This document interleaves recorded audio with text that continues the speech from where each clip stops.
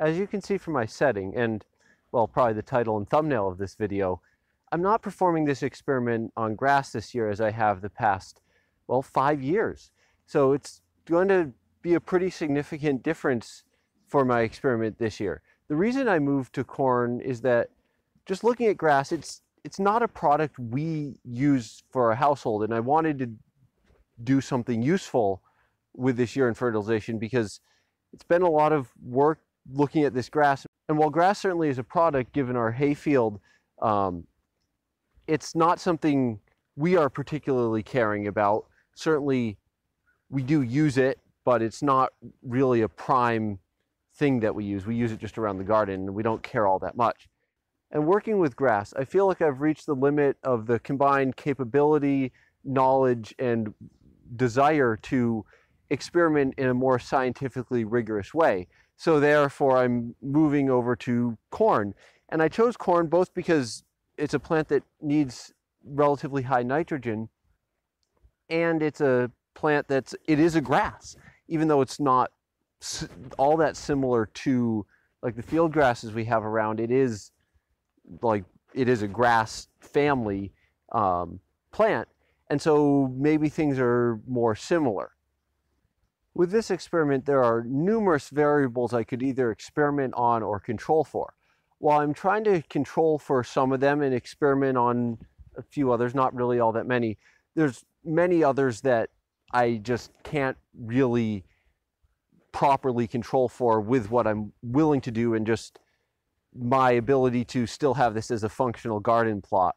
Um, this is a garden plot. This corn was planted 23 days ago and is now growing well. And prior to that, this garden plot was prepared with a manure top dressing, um, just like we would any of our, our other garden plots. These plots are each two and two thirds square feet, um, and I have a foot between each of them such that, so my experiment, if I'm fertilizing this one, the area in between before the next fertilization will act to, for me to see if like that fertilization is creeping over into this because compared to my larger plots, they're relatively small. And I think corn probably has wider spreading roots than a typical um, like grass out there, but it, I may not be true on that one.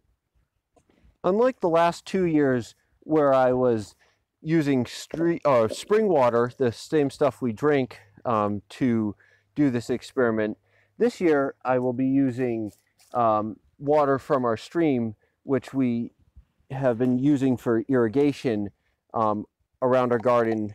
Um, and this, it's not as consistent. The, the, quality of it can vary from, I guess, day to day, uh, but it's, it's much more convenient to have the water right here rather than having to lug it in all from there, especially considering that I'm going to be applying a gallon of liquid to each of these. So that would be five, four gallons each day, which I've definitely done with the experiments, but it's not my desire to carry that much out here, even though with that gallon moving, with that gallon, that in the relatively small plot area, that's equivalent to 0.6 inches of rainfall on it, which is substantially more than I've applied at any one time previously.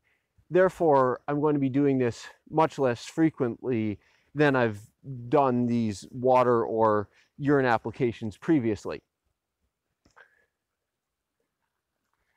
So this plot, which is going to be my highest um, urine applied plot, in this gallon is going to have two cups of urine. And this urine, that's another major thing. It's it's just whatever uh, the urine of the night happens to be. It's not. I'm not testing it or controlling it for nutrient value, and that's a that's a major difference. But I'm going to be taking it from the same homogenized source each time, so it it doesn't really matter. The second plot I do over here this one will have um, one cup of urine. The third plot I do will have half a cup of urine. And the fourth plot will be 100% water. And the fifth plot will be a control with nothing applied, even though the remainder of this bed will act in large part as a control. And these are substantially lower ratios than I've previously used. Previously, I was like last year with the urine application, I was doing a half and half ratio and a 100%. And I'm using a lower ratio for two reasons. One is that it's really, I don't want to kill this corn, even though we aren't by any means like critically relying on the stuff we produce in our garden to feed us. We do eat a lot of the stuff in our garden, including the corn, and we we're very grateful that we have that. But it's it's something we do want to grow because we will eat it. But it's it's not critical. And so I'm I'm trying to use very low urine so I don't what I've been calling over fertilization, putting too much of the urine on which may not truly be over fertilization. It may be other constituents such as the salts in the urine, which is having deleterious effects.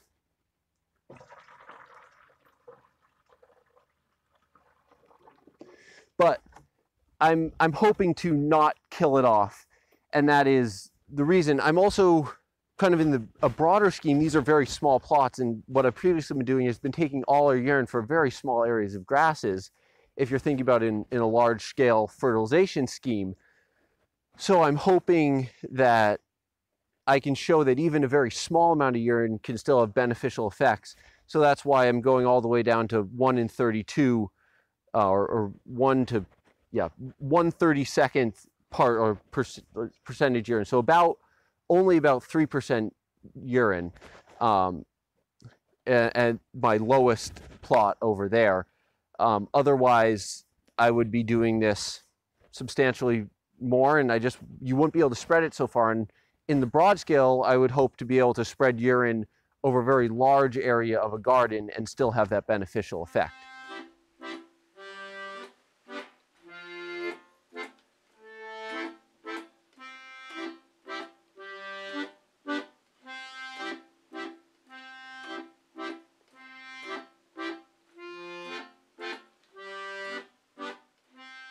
It's now July 24th, and the corn in the patch behind me where I had the experimental plots has grown quite tall. However, I haven't really seen significant any significant difference coming from those experimental plots that I was doing. It's not so evident now as the corn across this plot seems to be about as even other than just little bits of random variation stalk to stalk. But a few weeks ago, I did notice that the the south side of the plot seemed to be a little bit taller than the north side.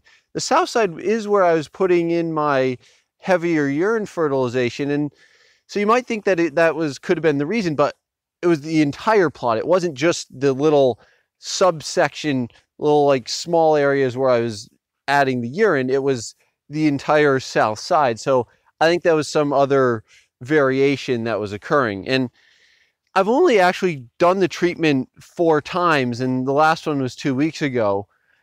So there hasn't been a ton of urine put on there. So maybe I need more to cause an effect, or I just don't know. Maybe I need to start earlier. I did start once this corn was already growing fairly well.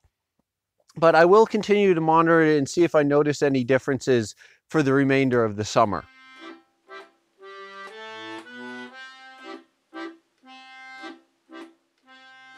Now in late August, we're most of the way through the harvest of the corn in the garden bed where I conducted my urine fertilization experiment.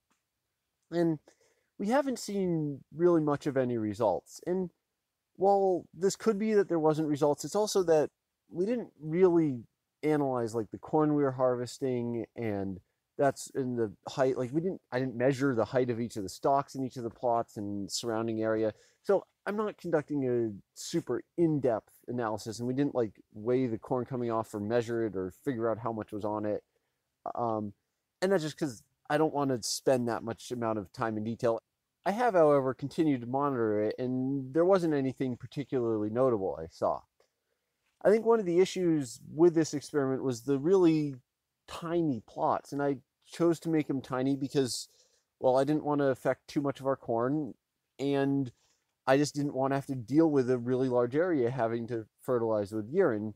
However, the single digits, the three to six corn stalks in each of the plots means that there really isn't much to work with. I think to really do this properly, you need a big, really large field of corn and you need some way to, or machinery uh, to apply the urine. And in that case, you couldn't apply it kind of later in this corn stage's life. You'd have to apply it really early on, which would be a different experiment that I did. And anyhow, that may be a better part of the life cycle to apply the fertilization.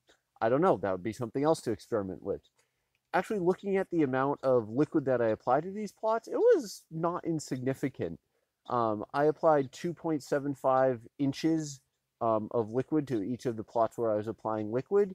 And over the period from when this corn was planted on May 20th to the end of July, which was about three weeks after my last fertilization, we got 10.02 inches of rain here. This means that with the liquid applied, like the, the plot where I just applied water, that plot received um, 127% of the rainfall that the other, like the control plot received. And the other plots received that amount of liquid, but some of that was urine, but not really all that much of it, with the highest being one eighth urine and the rest water. So it was a reasonably significant amount of liquid, but not much of that was urine. And though it's been fairly dry the last couple weeks, at the start of the summer we had a fairly average rainfall, and so I don't think that this is all that significantly affected by having a little bit more water and also the water spreads and yes i was applying it just in the plots but I don't think it just wetted those plots, which was part of the reason I had the buffer. I've also put together a little video, mainly just showing the photos I took of the plots I've done in the past years, but there is some commentary regarding some interesting things I saw in a few of the plots.